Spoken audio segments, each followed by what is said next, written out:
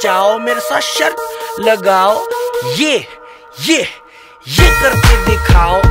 ये, फिर ये, अब ये ये ये करके दिखाओ।